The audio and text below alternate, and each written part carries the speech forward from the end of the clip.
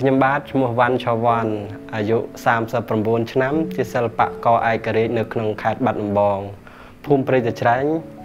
ឃុំព្រៃរិនស្រុកឯកភ្នំហើយបច្ចុប្បន្នខ្ញុំធ្វើការលើសិល្បៈឯករាជ្យគឺតកតងនឹងសង្គមនិងជីវិតតខ្លួនរបស់ខ្ញុំនិងស្ត្រីហើយក្នុងឆ្នាំនេះខ្ញុំបាន ប្រឡងក្នុងកម្មវិធី Y Canvas ជាឆ្នាំទី2ហើយដែរដែលខ្ញុំបានជាប់ហាពៀនសម្រាប់ក្នុងឆ្នាំ2021នេះហើយឆ្នាំតមិញខ្ញុំបានជាប់ពៀនកិត្តិយសគឺក្តីសង្ឃឹមហើយក្នុងឆ្នាំនេះដែរខ្ញុំមានគំនូរ3ផ្ទាំង បានចូលរួមប្រកួតក្នុងកម្មវិធីនេះអឺទាំងដែលខ្ញុំបានជាប់ ពៀនសម្រាប់នេះគឺ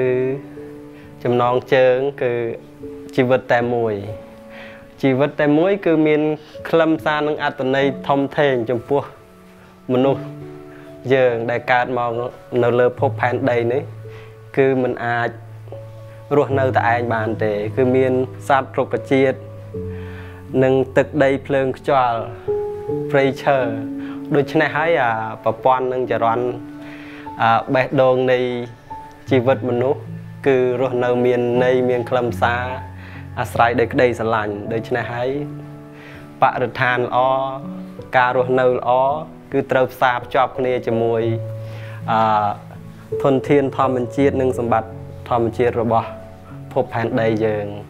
បានខ្ញុំគូការងារនេះឡើងដើម្បីចង់បង្ហាញទូទាំងសកលលោកថា ការរស់នៅគ្រប់ប្រទេសគឺត្រូវមានទាំងអស់ទឹកដីភ្លើងខ្យល់រុក្ខជាតិនិងបរិស្ថានស្អាត មានសត្វមានគ្រប់ដូច្នេះហើយក្តីសុខនិងកក់ក្ដៅរបស់មនុស្សយើងក៏ជាដង្ហើមមិនអាចខ្វះមួយណាបានដែរបាទហើយខ្ញុំសប្បាយចិត្ត ដែលបានចូលរួមប្រឡងក្នុងកម្មវិធី Y Canvas ឆ្នាំទី2នេះដែរគឺឆ្នាំ2021ជាមោទនភាពដែលខ្ញុំបានជាប់ពៀនសម្រិតហើយខ្ញុំសប្បាយចិត្តបំផុត គឺខ្ញុំជាសិល្បករឯករាជ្យម្នាក់ដែលបានអឺមានការចែករំលែកនៅបទពិសោធន៍ ស្នាដៃរបស់ខ្ញុំ ដើម្បីបង្ហាញឲ្យសិល្បករក្មេងៗកុមារក៏គាត់បានចូលរួមប្រឡងដែរមាន2គឺកុមារនិងវ័យជំទង់ដូច្នេះហើយឆ្នាំទី1មានការចូលរួមមធ្យមហើយឆ្នាំទី2 2021នេះមានសន្ទុះការចូលរួមប្រកួតដើម្បីអឺបង្ហាញស្នាដៃនិងសមត្ថភាពរបស់ខ្លួននឹងមាន ការកើនឡើងដូច្នេះហើយខ្ញុំសង្ឃឹមថានៅឆ្នាំក្រោយឆ្នាំបន្តបន្តមានការចូលរួមមានក្តីស្រឡាញ់ហើយនឹងមានការចែករំលែកជាសារមួយឲ្យសិល្បករវ័យក្មេងនិងសិល្បករធំធំក៏បានចូលរួមច្រើនដើម្បីលើកស្ទួយសិល្បៈប្រទេសជាតិយើង បង្ហាញទៅគ្រប់ប្រទេសថាយើងមានក្រៅពីអឺគំនូចម្លាក់តាមផ្ទាំងសិលាប្រាសាទ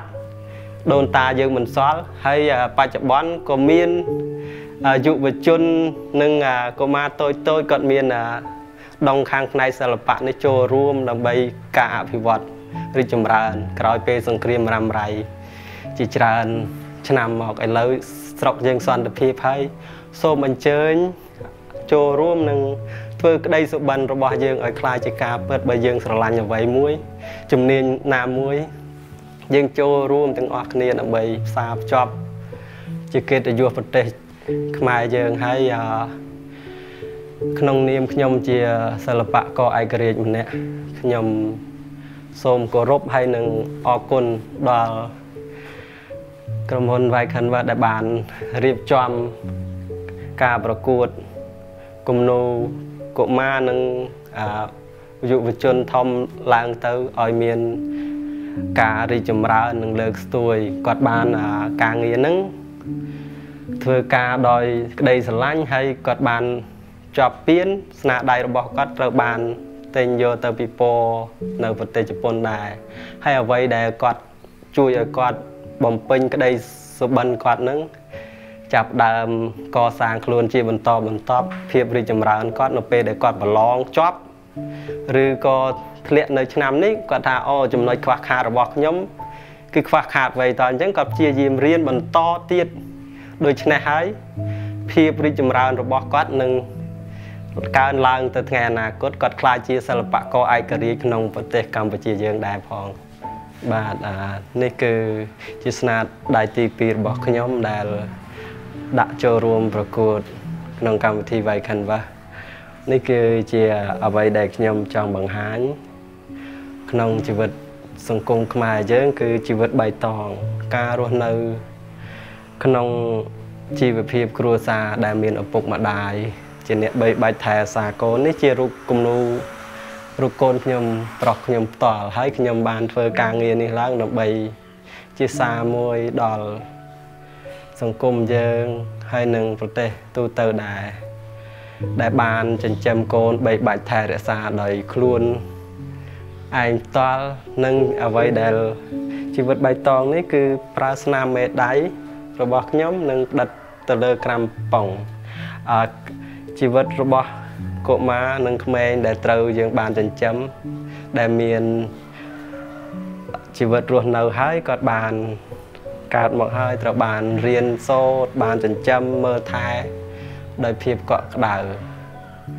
ហើយអ្វីដែលយើងបានព្យាយាមជាមួយគ្រួសារក៏ដូច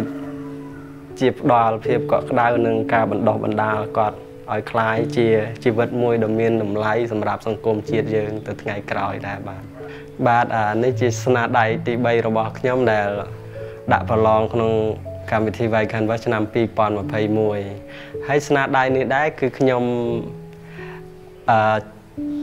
គូរូបឡើងដើម្បីបង្ហាញនឹងអ្វីដែលជាការពិតរបស់សង្គមនៅក្នុងការរស់នៅ នៅលើភពផែនដីយើងនឹងគឺប្រធានបទគឺច្បាប់ធម្មជាតិច្បាប់ធម្មជាតិនេះគឺខ្ញុំនិយាយឡើងនិងគិតឲ្យពិចារណានៅលើលោកយើង ការអភិវឌ្ឍនិងរីកចម្រើនផ្ទះថ្មវិឡាឡាន មានលុយទ្រព្យសម្បត្តិ មនុស្សយើងមិនអាចជីវិតអមតៈនោះទេដូច្នេះហើយនៅពេលដែលយើង មានសេរីភាពមានការរស់នៅ មានការអភិវឌ្ឍយើងត្រូវថែរក្សានៅអ្វីដែលកើតមកនៅលើភពផែនដីយើង មានជីវិតរស់នៅជាមួយយើង គឺមានក្តីសុខហើយនឹងការរីកចម្រើនក៏ពឹងពាក់អាស្រ័យទៅលើអឺធនធានធម្មជាតិ ដូច្នេះយើងអភិវឌ្ឍអ្វីដែលយើងចង់បង្កើតនិងអភិវឌ្ឍថ្មី តែអ្វីដែលកើតឡើងជាមួយជីវិតរបស់យើង ដូចជាព្រៃឈើសម្បត្តិធម្មជាតិសត្វបក្សាបក្សីទាំងអស់ទឹកដីភ្លើងខ្យល់នេះហើយក៏នៅតែរស់នៅបន្តជាមួយយើងទោះអភិវឌ្ឍជឿនលឿនយ៉ាងណាក៏ដោយនេះហើយជាសេចក្តីសុខនិងជាភាពពិតរបស់ភពផែនដីយើងទាំងមូលបាទសូមអរគុណច្រើន